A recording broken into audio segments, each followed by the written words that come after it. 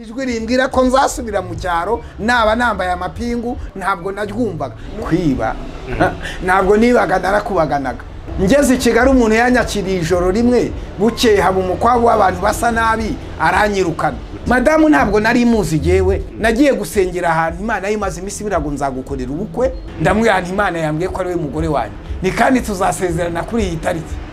Araturika araseka ati ariko se abantu baduha amezi atatu bati urugo ntabwo ruzamara amezi atatu. Twarakenywe mva turasuzugurika. Njyewe ntabwo ndi umupasitori uhakana ko ntarya amaturo. Amaturo nyine yahinduye ubuzima bwa poteri joseph. Akantu kamwe inzoga zankoresheje njye nigeze kunywa icupa rya kanyanga. Ya indi bita imbandura imwe ikaze kabisa. Bigejeje saa munani iyo nayinywaga nicaye imbere y'inzu ngiye kubona mbona inzira ahiye. Mvuze induru nijyororo nimutabare nimutabare nimutabare inzira hiye abaturage barirukanka n'amajerekani n'amazi n'ibitaka baje kuzimya inzu abaturage barankubise bansukaho amazi ya mazi yose baje kuzimisha inzu. Bayazimishije jyewe ishyari ndwana naryo. Ni abantu babona ko yongwe adakwiriye kuba yongwe bazi yongwe wa kera babona na yongwe w'ubu hakugira ngo bambaze inzira nanyuzemo ahubwo bakangirira ishyari bakumva bitankwiriye.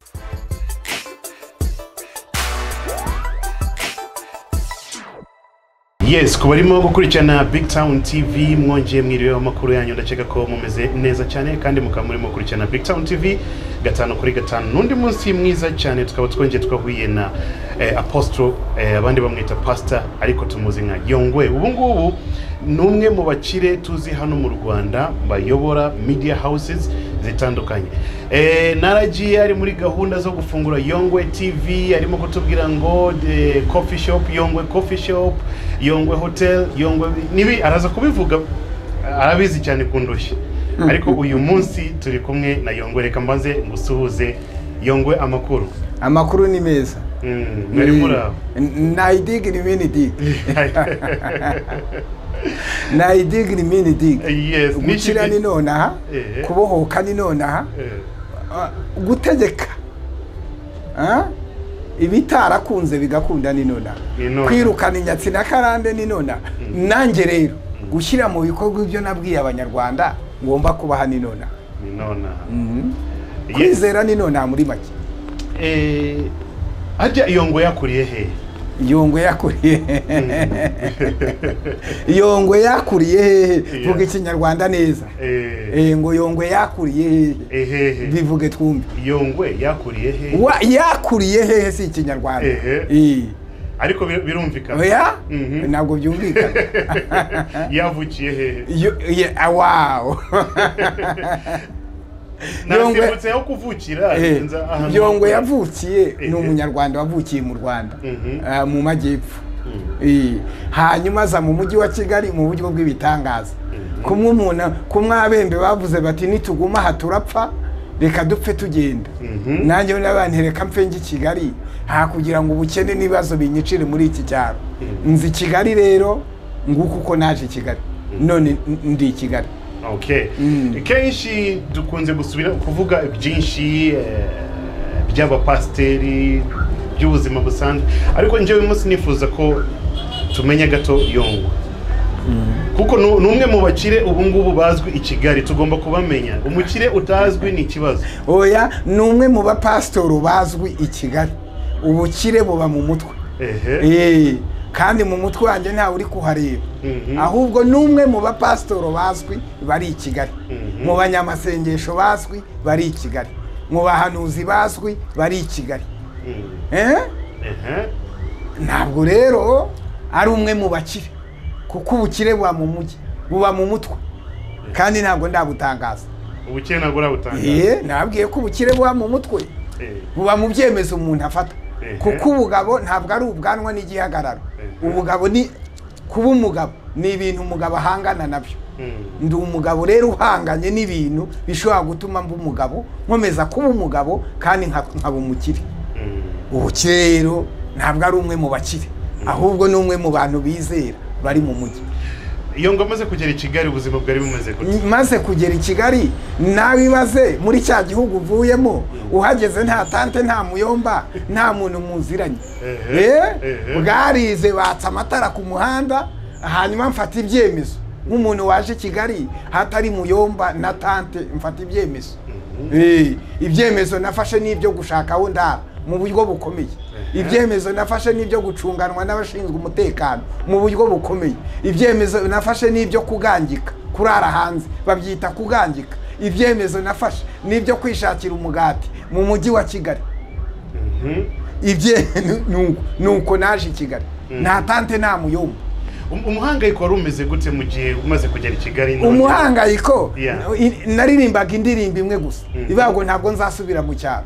Nageze i kigali nageze tawuni sinzasubira mu cyaro. Mhm. Ah, nageze i kigali sinzasubira mu cyaro. Nageze ahantu hari amafaranga sinzabura amafaranga. Nageze ahantu hari ibintu byiza nzagira ibintu byiza. Ijwi rimbwira ko nzasubira mu cyaro naba nambaye amapingu naba nakubiswe naba bamfashe mu mukwabu ntabwo naryumvaga. Numvaga ijwi rimbwira ngo nzakomera ndi umutsinzi ndi umuneshi imbere yanjye ni heza. Mu mihangayiko none yo gushaka ubuzima aho kurara aho kurya eh, n'ibindi byinshi. Iyo ngo ntabwo wigeze kwiba? Kwiba? Ntabwo nibaga narakubaganaga hari umwana wa- wa- badababwira ngo ntabwo uri igisa ngo uri igisamba akarira bamubwira ngo uri ingegera agaceceka. Nanjye rero icyo umbajije ntabwo nibaga narakubaganaga. Bimwe mu bintu wakoze none mu umva bukubaganyi bwawe bimwe mu bintu nakoze nacuruje amagi mu mujyi wa kigali. Kumugendana amagi n'agatete ahiye umuntu akaritonora akarimira bunguri. Abana ariko ubu nanjye nzigurira igikoko rimwe ndirye. Ah, imwe mu mirimo nakoze nacuruzaga urukweto rumwe. Nirirwaga ngendana nk'agashati nkagurisha mu ntoki. Imwe mu mirimo nakoze nacuruzaga fanta. Fanta kumuzi igendana mu ntoki ati muragura fanta. Muragura fanta wondaho urufunguzo. Imwe mu mirimo nakoze iyindi ntabwo nayivuga. Cyakora hari umwigisha witwa zakayo yavuze ati uwo ni byo azaze mu kubirekana Eh, Okay. Eh, eh, muri icyo gihe bwa mbere ukigera i kigali hari umuntu yakwakiriye aguha icumbi cyangwa wararaga mu mihanda byari bimeze gute? Ngeze i kigali umuntu yanyakiriye ijoro rimwe bukeye haba umukwabu w'abantu basa nabi aranyirukana. Anyirukanye bahita bantwara mu mukwabu w'abantu basa nabi bamfunga iminsi cumi n'icyenda. Aho bafungiraga ahantu i remera muri kontineri. Bahanwe undi mukwabu urantwara banjyana aho ntavuze. Undi mukwabu urantwara banjyana aho ntavuze. Undi urantwara banjyana aho ntavuze. Imana ishimwe ko yahabaye. Eh, ariko umujyi ndacyawurimo reka mbwira abashaka kuva mu mujyi oya. Kuba mu mujyi ni ugufata ibyemezo byo kuwugumamo kuba mu mujyi ni uguhangana n'ubuzima bwo mu mujyi kuba mu mujyi ni ugukura amaboko mu mufuka ugako- ugakora. Iyo nza kuva mu mujyi rero ntabwo mba natura bya bindi ko bagomba kubona yongwe tv yongwe femu yongwe yongwe hawuzi amadeparatoma yongwe kofi yongwe ajanse n'ibindi n'ibindi n'ibindi n'ibindi. Ibyo mbitewe no kwihangana. Nayo biravuga ngo kwihangana gutera kunesha. Kunesha kugatera ibyiringiro. Ibyiringiro bikaduha kwakira ibikwiriye. Ese muri icyo gihe cyo guhangayika hari ukuntu watekerezaga umukobwa umukunzi? Ibyo ari byo byose ubukene ntabwo byatumaga ubugabo bwanjye budakora. Ubukene ntabwo bwatuma ubugabo budakora. Cyakora cyakora bushobora kudakora neza bitewe agahinda ufite n'umubabaro. Nari muzima ntabwo nari debiri ariko aho ngaho ntabwo wanywa kore unywa urumogi im- imvura igukubite mu muhanda hanyuma urare muri rogori cyangwa n'ahandi nashatse kuvuga amazina utekereza umukobwa. Mhm. oya wapi? Uba utekereza aho uzakura irindasi uburyo uzabaho ucunganwa n'inzego na polisi kwita kubyutsa nijoro aho urara cyangwa bagufate mateko aho uryamye ubwo se wacungana umukobwa. Eh. nanjye nari umukobwa ndetse w'indushyi. Bwa mbere watekesha umukobwa byari bimeze gute? Bagitinda kwiyamye Oya, na- ni ubuhamya kandi ku bapasiteri Oya. njye- njye ndifuza urumva? oya ngo igihe natekereza mukobwa Eh, byari nari ibyo byihorere. Eh. Eh, nari nari narakijijwe ntekereza ko imana izankorera ubukwe. Mwubaka urugo nkabyara abahungu n'abakobwa. Eh. Eh. yongwe watunyuzamo nimba bitagoye ukuntu waje gushakana na madamu wawe? Ukuntu naje gushakana na madamu wanjye narakijijwe nakira agakiza ntangira gukorera imana.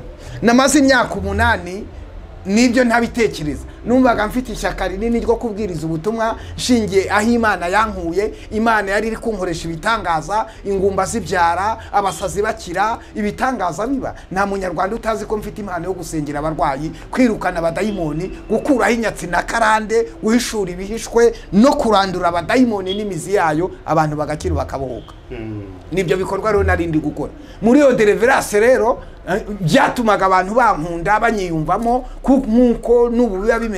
Umuntu wese yifuza ko nagera mu rugo rwe ngo musengere muheshe umugisha cyangwa se mufashe gutegeka. Impano yanjye yo kwizera icyo gihe yarakoraga cyane nk'uko mwumva ihora izamuka ku manywa na nijoro nizera noneho n'ibiboneka n'ibifatika bifitiye inyungu abanyarwanda bitanga akazi ku banyarwanda ku bashomeri ku bize amashuri akomeye n'ayoroheje. Urumva rero ntabwo hanyuma nyuma imana yambwiye ko izankorera ubukwe mu mwaka w'ibibiri na- w'ibihumbi bibiri na kabiri hanyuma ibukora mu mwaka w'ibihumbi bibiri na makumyabiri. Inkorera ubukwe yashize imyaka umunani imana ibu imana ibimbwiye ndi umugabo rero w'abana batanu ndashimira imana. Madamu mwahuye gute? Madamu ntabwo nari muzi yewe nemera ko imana yacu ivuga. Nagiye gusengera ahantu imana yimaze iminsi ibirago nzagukorera ubukwe. Imana uzankorera ubukwe. Ndara ku gatanda umuntu yampaye mu gashamburete nta kintu na kimwe Imana- ikambira nakwinjirana abahanuzi bati "I- igihe cy'ubukwe bwawe kirageze nakongera nakwinjira ahandi. Bati umugambi w'imana urasohoye kuri wowe ibyo bintu birashyuha biba birebire cyane by'ubukwe. Mm. nta kindi gisubizo nari mfite rero. Naryama nkarota nakoze ubukwe naryama nkarota ndi kumwe na madamu ariko nyine ntabizi. Nagiye gusenga ahantu rero imana irambwiraga umugore wanjye yitwa mukakarisa bibiyani bibiyani imbwira aho aririmba korari aririmbamo ndatega njya kumureba. Njyewe urabona ibintu byose nifatira icyemezo sinzi guca inyuma. Ndamwira nti imana yambwiye ko ari we mugore wanjye. Ni kandi tuzasezerana kuri iyi tariki. Araturika araseka ati ariko se wowe uratanga icyifuzo? Ushyireho na gahunda y'uburyo uzashyingirwa byabaye situwasiyo ikomeye cyane. Dore ko nabitangaje mu rusengero baranyihanisha abapasitoro barongera baranyihanisha ariko nyine kuko imana yavuze byarabaye. Mm. turashyingirwa rero. Abantu baduha amezi atatu bati urugo ntabwo ruzamara amezi atatu. Si uko batari bazi ko nkijijwe na madamu wanjye akijijwe ahubwo baribazaga ngo aba bantu bazajya iki? Bazabaho gute? Yongwe ko ari umuntu abyuka mu gitondo ajya mu ivugabutumwa ukwezi kugashira agatangira ukundi uyu mwana w'umukobwa akuye mu rupangu iwabo bazabaho gute? Ariko imana mu mugore ukijijwe wubaha imana aranyihanganira arabyakira. Twarakenywe rero imbabura turazimanika umwa- umudamu wanjye yari akiri umwana arananuka rwose amagufwa aragaragara. Twarakenywe tuva mu nzu narongoreyemo y'ibyumba bitandatu y'urupangu tujya mu cyumba na saro twarakenywe mabukwe akajya aza mu rugo akajya aza mu rugo agafasha madamu gusenga gusenga njye ngahunga nkiruka fatimana umwana wanjye agiye gupfa twarakenywe mva turasuzugurika tubaho hano ariko tuguma gusenga no gukorera imana imana iratubwira ngo izatugirira neza. Ubu rero nibareke tubeho neza none ubukire bwatangiye kuzamo gute uyu ubukire ninde wakubwiye ko nkize ubukire bwatangiye ushobora kuvamo. guhakana ubukire imana no, n'ibyo ufite Ah? Yes. ngo ubukire bwatangiye kubaho gute Eh. ahubwo baravuga ngo imana yatangiye guhindura ubuzima wari urimo gute ikinyarwanda cyiza Ah, ah, nyine. imana yatangiye guhindura ubuzima twari turimo gute? Oya iby'imana. Eh. imana yazamuye impano yacu yo kwizera. Imana yaduhaye igikundiro. Abantu baradukunda mu bihugu bitandukanye. Abantu baradukunda. Imana yaduhaye yerekwa dutangira itorero rya horebu hori cace tuba abashumba b'itorero. Imana yaduhaye yerekwa idufungurira inzugi. Yatubwira ko twazagenda mu mahanga. Tujya mu bihugu bitandukanye tuhakura umugisha. Dushinga amatorero ya horebu hori cace imana yaduhaye iyerekwa dutangira gutangira bizinesi z'ubucuruzi zitandukanye kuko twumvaga ko dushingiye ku ijambo umubyeyi wacu umukuru w'igihugu nyakubahwa perezida wa repubulika yabwiraga ko abantu bagomba kwishakamo ibisubizo bagafata ibyemezo byo kwigirira icyizere hanyuma bagatinyuka bagakora. Eh, so eh, bi- bisha- bishatse gusobanura ko eh, amaturo niyo yatangiye guhindura ubuzima bwa yobu njyewe ntabwo ndi umupasitori uhakana ko ntarya amaturo cyangwa ko amaturo adahindura ubuzima Eh. amaturo nyine yahinduye ubuzima bwa poteri joseph afatanyije n'uko mfite ubwenge bwo gukora na bizinesi nkora ibyo byose ni byo byitwa potere yongwe joseph ntabwo rogeye ibyo urumva ukantu uba ucomekamo ngo amaturo ngo yatangiye guhindura ubuzima Eh. amaturo nyine ahindura ubuzima bw'abatambyi bw'abashumba. Eh, hari abantu Hari abo nabibye mw'iby'umwuka ruhande. mbasarura mw'iby'umubiri hari abo nabwirije ubutumwa bwiza baransapotinga nk'umubyeyi. Hari abo nabwirije ubutumwa bwiza bakora mu mu mu butunzi bwabo baranshyigikira bamwe bansapotishije ubwenge abandi ibitekerezo abandi banyereka uburyo natangira kampani abandi bampa amafaranga. Ubukire imana ifite ni abantu bari ku isi. Imana yamuje n'abakire kugira ngo nanjye nyire. Mm. eh, so eh, ituro rikiza abapasiteri ituro? Ituro ntabwo rikiza abapasitori ituro rikiza urituye. Ituro rikiza urituye rikamugira ngo ituro ryawe rizaguhuza n'umwami. Ituro ry'umuntu rimuhuza n'umwami rimuha konegisiyo mu mana imana ikamugomororeraho umugisha. Ma- maraki ibice bibiri. Ngo muravumwa wa muvumo kuko mwanyimye icya cumi n'amaturo. Icya cumi n'amaturo. Bivuga ngo utanze icya cumi n'amaturo ngo nimuwingeragereje nzabagomororeraho umugisha. Ituro rikiza rero uritanze ntabwo rikiza uryakiriye Mm. abapasiteri eh, benshi bakunda guhura n'ibigeragezo cyane cyane by'abagore abakobwa. Eh, hari akantu kigeze kukubaho umugore cyangwa umukobwa agashaka kukugerageza twebwe nta abapasitoro ntabwo duhura n'ibigeragezo by'abagore n'abakobwa. Kuko abakobwa tuyobora mu rusengero n'abagore duhura bazi ko imana yaduhamagariye kuyikorera no kuyisenga. Ntabwo duhura rero. Cyakora ubyikururiye wahura na byo.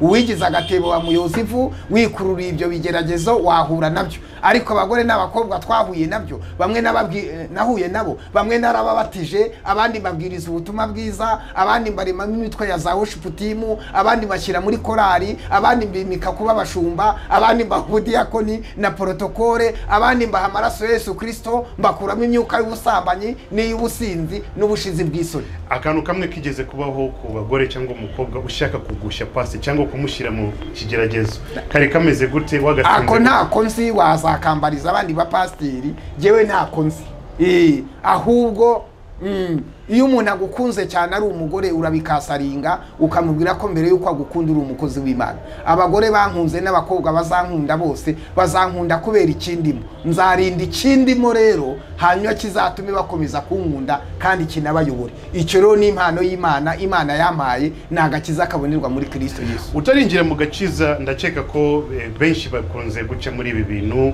by'ibiyobyabwenge inzoga itabi urumogi cyangwa ibindi. Wowe eh, imbere y'uko wakira agakiza kawe n'iki wanyuzemo? Jye nanyweye itabi ryinshi nanyweye urumogi nanyweye kore nanyweye kanyanga nanyweye inzoga bita imbandura ikomeye cyane nari umunyabyaha pawulo avuga ngo ndashimira yesu kirisito kuko yambonye ko ndi wo kwizerwa akangabira umurimo. Nubwo yabanje kubona ko ndi mubi ibyo nanyuzemo ni byinshi. Ibyo byaha byose bavuze nabinyuzemo. Ariko ifoto yabyo sinkiyibuka ndibagirwa ibyo nanyuzemo nkasingira ibiri imbere. Icyo nkundira imana. Imana ntiturebera mu byaha twabayemo ahubwo turebera mu muhamagaro no mu rukundo. Ifite intego yo kuzadukoresha ibyiza biri hariya imbere. Eh, akantu kamwe inzoga zigeze kugukoresha udashobora kwibagirwa mu buzima bwawe. Eh, kugira ngo wumve ko atari na nziza nyuma uza akantu kamwe inzoga zankoresheje njye nigeze kunywa icupa rya kanyanga.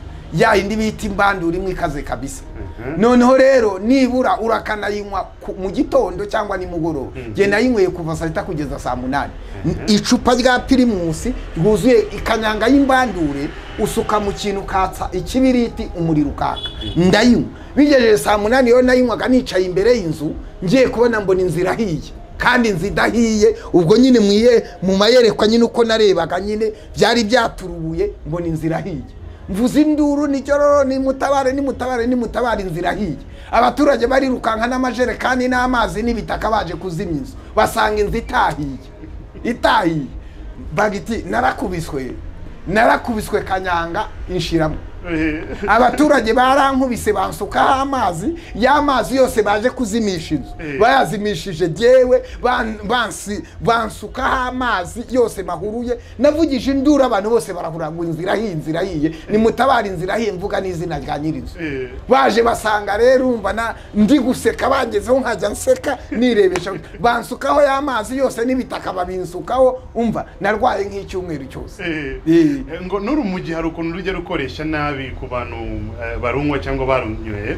Eh, niki urumogi rwagukorera urumogi ni uko rimwe nanyweye urumogi nanyweye urumogi wumvise? Mhm.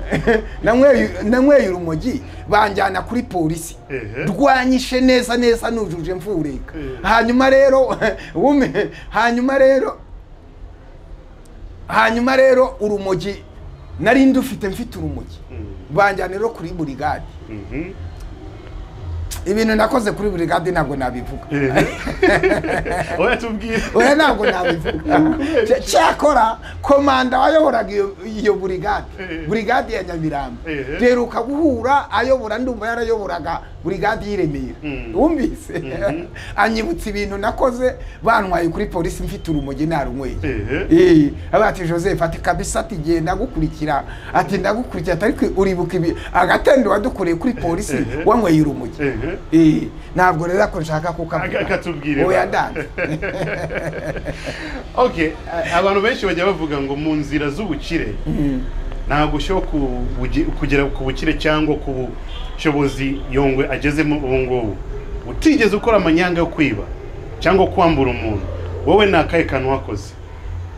Mu nzira y'u- y'ubukire ega ibyo ahubwo mu nzi- mu- mu nzira yo kugerageza yo kwataka. Mu nzira yo kwataka byo bari kuvugisha. Kuko iyo mbyutse ndataka. Ndataka. mu nzira zo kwata Ye, mu nzira zo kwataka. Nataka jobu zanjye nkazataka kugira ngo ndebe yuko nyine ifaranga ryabyara irindi. Niyo- noneho nkajya no gusenga kugira ngo numve ko nava ku rwego rw'amasengesho nkagera ku rundi rwego. Ye aho ntabwo wavuga iyo uri mu nzira yo gutera imbere amakosa niyo egisperiyanse hari amakosa rero yabayeho muri urwo rugendo muri bizinesi hari amakosa y'abantu nizeye barampemukira. Hari amakosa y'ibyo nagerageje biranga. Agatendo kambaye ni udutendo twishe cyakora kamwe muri uto oya kahise. Eh? Kahe kamwe muri utwo. agatendo mu dutendo. Tw'inzira eh, twa- agatendo nakoze si imana ikama umugisha Mhm. oya nitwishe ni twinshi Ni twinshi. Udutendo nakoze. oya nta gatendo Kugira ngo- mu gihugu kirimo amategeko ntiwahemukira umuntu Eh. wumvise amategeko yagufunga okay Eh, ahubwo agatendo n'ibyemezo nagiye mfata byo gushaka amafaranga Mm. byo gushaka amafaranga agatendo ni ni ni ni ni uburyo Eh? ni uburyo? Yeah. Ni- ni- ibintu by'ibitangaza imana yagiye inkorera. Mm. Eh, nanavuga ha- ha- hari iyo imana isaha y'imana yageze kuguha umugisha icyo twabwira abantu? Aho imana ingejeje n'aho izaguma kungeza n'ibyo ndi kwiyumvamo ngomba gukora. Ntabwo ari imbaraga zanjye. Reka tubwire abantu ko atari imbaraga zanjye ndi mu gihe cy'isezerano ryanjye Eh, iyo igihe cy'isezerano kigeze rero ibintu byose bigenda neza. Ibi ni ibintu imana yari yarambwiye ko umugisha. Ibi ni ibintu imana yambwiye ngo bivuge. Abantu babirwanye nzabishyigikira. Urabizi ibiganiro twagiye dukorana nkubwira ngo nzashinga yongwe tv umbwira ati ibyo bintu ntibishoboka ariko uyu munsi abanyarwanda barayibona. Niko ndi kubwirana ko bazabona hoteli ko bazabona yongwe kofi ko bazabona uruganda ah, inganda n'ibindi. Abantu ntibabyumve ariko ubu ngubu batangiye kumva kuko ndi gukura ibintu mu magambo nkabishyira mu bikorwa. Imana na yo iri kunsapotinga kugira ngo yerekane imbaraga zayo. Ibi bintu rero rwose mvugisha ukuri nta mbaraga nashyizemo. Imana yarambwiye ngo abantu bazaguha umugisha. Bazaguha umugisha n'aha kuri yutubi umuntu ashobora kuza akavuga amagambo akagira gute n'undi akajya hariya akavuga amagambo kiritike n'ibindi. Ariko icyo imana yavuganye nanjye yakivuze abantu bari kuri yutubi benshi batarayizaho. Ikindi imana niba yaravuze ngo nzagufungurira inzugi n'inzugi yafunguye bagiti. Njye mfite uburyo imana yagiye umugisha mu buryo natekereza reka ntange urugero. Sibyo hari umwe w'umukanishi wigeze kumpamagara arampamagara arambwira ati ngwino nkwereka ahantu hari benze. Imaze imyaka itatu itwikiriye ahantu. Hmm? tuva hano ndagenda benze nyigura amafaranga miliyoni na magana na magana arindwi. Urumva benze if- imaze imyaka itatu itwikiriye muri shitingi. Bagiti yarabaye ivumbi icyo bakubwira ivumbi. I- ivumbi yarabaye ivumbi mbese no kuyikura eh? no kuyikura mu igaraje breakdown yipakuruye abantu bavugije induru mageze ndebye iyo benze numva ijwi rimbwira ngo gura iyi benze. Benze ndayigura. Nda- ndayigura nishyura ibihumbi makumyabiri na bitanu breakdown irayipakira irayijyana nibuka ko nayijyanye ahantu mu kinamba mbere y'uko bayikora. Nayijyanye mu kinamba bagiti nibuka ko natanze ibihumbi makumyabiri na bitanu barayuza iyo benze bayogeje basanga nyirayo yarayiguze umenya yarayitwaye nk'icyumweru kimwe. Dusanga ni nshyashya yayindi nshyashya twamenye amavuta yari arimo kuko yari yarapfiriyemo dushyiramo andi mavuta twakije imodoka twateye kontake rimwe gusa ihita yaka. Dusanga amatapi ni mashyashya barayoza imodoka ibajyanye uwakubwira amafaranga nayigurishije. Ha? umuntu araza aranyiga ati mbabarira iyi modoka nguhe miliyoni eshanu mbabarira nguhe miliyoni zirindwi mbabarira nguhe miliyoni zirindwi. Nayigurishije amafaranga ateye ubwoba. Kandi uwo nayigurishije nawe yarongeye ayigurisha amafaranga menshi. Iyo ni isaha y'umugisha. Nese ubuhamya sinabutanze uburyo abakomisiyoneri bambwiye bati "Duha- duhere ifuti. Umuhungu w'umukomisiyoneri w'inshuti yanjye muhari ifuti tujya hano mu mujyi wa kigali. Bagiye kugura imodoka ya vigo. Imodoka ya vigo.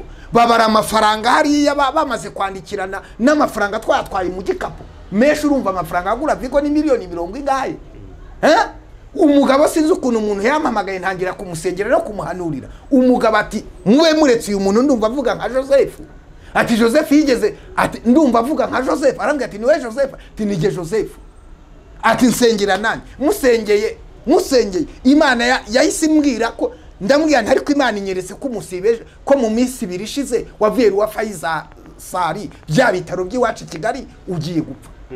Ati kandi mbonye umuntu akuroga kandi ibintu bakoroga ni ihembe rigufata rigufata rikaguheza umwuka rikongera rikagenda rikimuka mu mubiri wawe. Ni kandi ukuroga ni naka. Ni umuvandimwe wawe. Umugabo ntiyahise avuza induru. Yahise avuza induru. Ati nari maze iminsi. Ati ibi bintu ati ntabwo nzi. Nibwo bwa mbere winjira ni bwo bwa mbere nari mubonye rwose? Ara- ahita abwira abakomisiyoneri ati iyi modoka yanjye ntabwo nyigurishije. Nyihaye joseph. None se vigo se irahise nyitahana ariko abakomisiyoneri bari bagishe. Ehe. Barankurikiranye bamfatira mu rugunga kuri sitasiyo. Baba bati tugiye kugura imodoka twagomba kungukaho amafaranga barayiguhaye ca barayiguhaye. Ndibuka ko nabahaye ibihumbi magana atanu kugira ngo bandeke. Vigo uzi amafaranga nayigurishije. Uzi amafaranga iyo vigo nayigurishije. Imana ya burahamu na isaka niyizi ni igikapu cyuzuye. Iyi saha y'umugisha rero igeze. Inzugi zirifungura iyi saha y'umugisha igeze ahakeneye ubwenge imana iguha ubwenge ahakeneye imbaraga imana iguha imbaraga ahakeneye kwizera imana iguha kwizera. E- e, mu minsi ishize hari abantu basanishaga yongo tv na eh, na rugaji. Ibi ngibi ni cyo bivugaho ntacyo nabivuga. Eh, rugagi ni umugabo ni umugabo mu rwego rwe utunganya ibye na yongwe ni umugabo utunganya ibye. Ntabwo mu- ntabwo abantu basangira rayisesi yongwe tv ni umushinga natangaje. Njya muri rura ntangiza igikorwa cyo gusaba dokima. Dokima barazimpa nurira indege nawe urabizi. Njya kugura ibyuma muri aziya ndabizana ndagaruka nkora esitarasiyo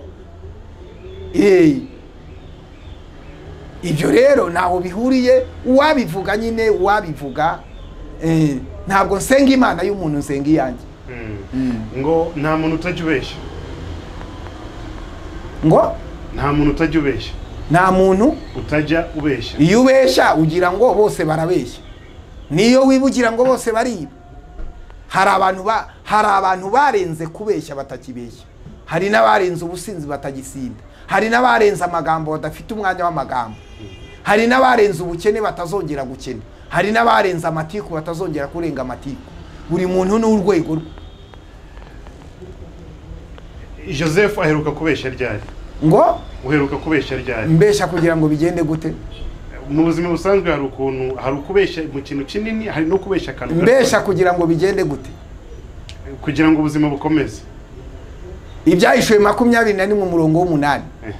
Ariko aba ariko abasambanyi n'ababeshya n'abasenga ibishushanyo n'abatukana umugabane wabo ni mu nyanja yaka umuriro n'amazuku. Kuko nashaka kuzaba mu nyanja yaka umuriro n'amazuku rero ntabwo mbeshya naba hari icyo nakubeshye? Ko tumaranye iminsi? Ubwo ni ubuhamya untangira iyo joseph abyutse mu gitondo umunsi we bumeze gute? Umunsi wanjye mbyutse mu gitondo. Iyo nkangutse eh, mm, nkomanga madamu wanjye ni bonjour nkamusuhuza hanyuma bamubwira ngo dusenge tugasenga nabyuka nkajya muri saro urumva ndiborosa nkitunganya nkajya muri saro nkaganira n'abana akanya gatoya. Namara kuganira n'abana akanya gatoya nkanagenda mm, ubwo nkanagenda nkabaza abana amakuru nkakemura utubazo tw'abana nkaca mu gikari nkareba imbwa yanjye urabizi ko nyikunda? Nkareba imbwa yanjye narangiza yitwa imbwa. Izina ryayo. Oya yitwa imbwa oya yitwa imbwa. Eh, hanyuma narangiza Eh. nkatsa imodoka nkajya mu mujyi gufata breakfast kuko njye ntabwo mfata breakfast mu rugo nyifata mu mujyi. Kuri hoteli twabyo nyifata kuri hoteli nkaza madamu turajya kumufata breakfast yamwe kuri hoteli ati oya ti gutyo cyangwa se byaba ari ngombwa ngira iminsi ntwara abana mu gitondo tugasangira breakfast kuri hoteli nk'uko abandi babigenza twita uko babayeho natwe tutarabaho. Mm. hanyuma nkaza kureba akazi nkareba aho nkorera niba nkorera kuri televiziyo niba hari ibibazo nkemura kuri yongwe tv niba hari ibibazo nkemura ahandi mfite ibindi nkora niba hari ibibazo by'imishinga mfite nkakasaringa abakozi mvugana n'abayobozi bashinzwe deparatoma narangiza. Eh? Nyine nanjye nkajya aho nkorera muri biro yanjye. Iyo warakaye ubigenza gute? Iyo narakaye iyo ndakaye uburakari bwanjye bumara hagati y'iminota itanu n'icumi. Kuko nta muntu ujya ndakara iminota irengeje icumi. Mm. hagati y'iminota itanu n'icumi uburakari buba bu- bushize. Ukontrolinga gute kugira ngo uburakari ubugumishe mu gihe kigufi cyane? Kandi hari abantu barakara ukwezi imyaka cyangwa umunsi wose. So wowe ubigenza gute iyo umuntu ankoreye ikintu kibi mpita nibuka nanjye ko ndi mubi. Mpita nibuka nanjye ko ndi mubi. Iyo umuntu anyibye nanjye mpita nibuka abo nibye. Iyo umuntu antutse mpita nibuka abo natutse. Iyo umuntu ampemukiye mpita nibuka abo nahemukiye. Bikampesha kwihangana. Nuko jyewe ntege. Mm. kandi jyewe umuntu wese ushobora kunkorera ikintu kibi. Nasomye bibiliya muri yemera haravuga ngo kuko mu mutima w'umuntu harimo imigambi mibi. Kwiba kubeshya gusambana amagambo ateye isoni ibinyoma n'ibindi. Mm. bagiti utaranyereka ububi bwa bagiti nsanzwe nzi ko muri bagiti harimo ububi. Mm. utaranyereka ibyaha byawe bagiti nsanzwe nzi ko uri umunyabyaha. Utaranyereka gutsindwa kwawe nsanzwe nzi ko ushobora gutsindwa. Niyo mpamvu birivuga ngo uhagaze yirinde atagwa nta kintu wankorera rero kibi ngo ndare ngutekerezaho. Oya? Jyewe mbabara mu gihe mfite ibintu ngomba gukemura nkabura ubushobozi bwo kubikemura. Mm. ishyari ni iki kuri wowe? Ishyari Eh. ishyari ni umuntu. Ishyari iryo ndwana naryo kuva ku wa mbere kugera ku wa gatandatu. Aba ishyari na iryo ndwana naryo ni cyo ushatse kumbaza. Mhm. ishyari ndwana naryo ni abantu babona ko yongwa adakwiriye kuba yongwa. Ko yongwa adakwiriye kuba yongwa. Ha? Bazi yongwe wa kera babona na yongwe w'ubu ha kugira ngo bambaze inzira nanyuzemo kugira ngo mbe yongwe w'ubu. Ahubwo bakangirira ishyari bakumva bitankwiriye ariko mu ijuru babiteguye bazi ko binkwiriye. Ishyari ni iki rero? Ni ukumva ko ari we ukwiriye kwemerwa kuruta abandi. Gahini na beri bagiye gutanga igitambo. Hanyuma imana yemera icya beri igaha icya gahini muri umuna we hakugira ngo amubaze amukubita umuhini aramwica. Kuki yamwishe? Yagize ishyari. Yagize iki? Ishyari yumvaga ko ari we yagombaga kwemerwa ishyari ryawe ni irihe? Ishyari ryanjye. Eh. ishyari ryanjye ni ugutera imbere. Ni ugushinga amatorero aho ataragera ishyari ryanjye ni ugushinga amakampani akomeye. Ishyari ryanjye ni no- no- ni uguhindura abanyarwanda. Gutinyuka bagakora. Ishyari ryanjye ni ukureba abageze kure. Nka- nkabegera nicishije bugufi kubabaza inzira banyuzemo kugira ngo nanjye ntere imbere. Iyo ubonye nk'umupasita gitwaza umugirira ishyari? Inde? Gitwaza. Ntabwo mugirira ishyari. Wumvise? Ha- hari icyo bita ishyaka. Hari ishyari n'ishyaka. Eh, ishyari ni ukuvuga ngo uriya muntu ukumva ko ya kwibyiwe atabikwiriye cyangwa ukumva ko wabimurenganyiriza. Ahubwo iyo mubonye ah, anyigisha gukora cyane ntabwo mugirira ishyari. Anyigisha kwataka. Kwataka nshinga amatorero kwataka imigabane y'isi gufata ibyemezo bimwe na bimwe ko ushobora guhaguruka ugasiga n'ibyuzuye ukajya gutangira n'ibindi. Mwigiraho. Hari abantu bigeze bagaragaza ishyari kuri ibi yongwe arimo gukora muri iyi minsi cyangwa muri muri izi nzira yongwe yaciyemo aho yageze ubu ngubu? Nawe urabizi. N'uwanyura kuri big town ibyo yabibona. Yabibona bitandukanye kuri big town. Sinzi niba ari wowe ariko ushobora kuba waragiye uhisha inzira abamfitiye ishyari bandwanya bangira gute? Ariko ibyo byararangiye. Imana ishimwe ko nabo twagiye twiyunga babona ko bakwiriye kwegera yungwe akabashyigikira akabasapotinga kandi babona ko ndi umukozi w'imana. Ikindi iyo umuntu andwanyije aba ari mu nzira zo kurangira. Buriya claude yakugiriraga ishyari? Korode wuhe? Pastor claude weya pasita korode nta shyari yangiriraga Eh. biriya yabaga ari mu kazi kiwe kuri social media Eh. nta shyari yangiriraga Eh. ko tutari dusangiye isambu se Eh. cyangwa imirima ko ari umushumba mu itorero nanjye nkaba umushumba mu itorero biriya simbifata nk'ishyari kuko korode ntiyategura operasiyo yo kunyica cyangwa ategure operasiyo yo kumfungisha cyangwa asange nagize ikibazo yitambukire Mm. oya mpfuye yababara kubera ko yaba atakaje imbaraga nanjye mpfuye nanjye mpfuye yababara kuko na- nawe apfuye nababara kuko naba ntakaje imbaraga. Biriya ntabwo nabifata nk'ishyari cyangwa mbifate nk'intambara biriya ni ibisanzwe. Eh, umupfumu sarongo Ni ishyari ni iki? Eh?